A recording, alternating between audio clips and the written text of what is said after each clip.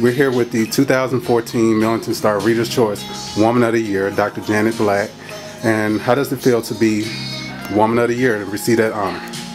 Well, Thomas, you certainly blew me away when you came into the office and the girls told me that I have a visitor and I'm told that I am that, that, that this honor has been bestowed upon me.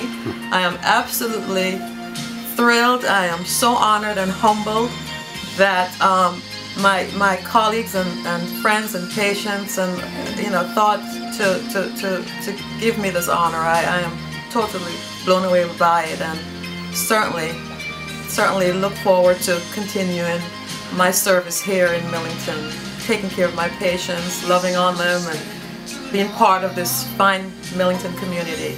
Yes. Were you excited because of your work here at your dentistry and your involvement in the community? So talk about, you know, your, your driven purpose here at work and in the community.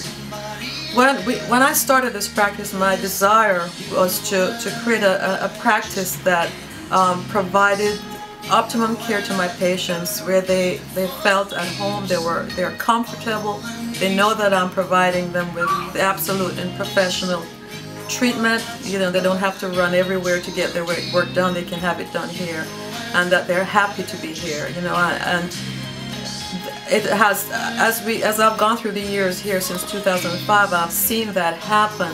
I've seen I I've, I have with me a team that is just wonderful. The ladies that work with me, I love them. They they do so much for this practice. They're the ones that that have that make this practice what it is and um, just couldn't do it without them. And they, they gave me the opportunity to go out and work with the community, work with um, the YMCA, the, the, the chamber I've, I've, worked with, and um, various other um, community um, organizations that, that I'm a part of. I'm just, you know, that's my plan to keep doing what I'm doing and to get even more involved with, with Millington community.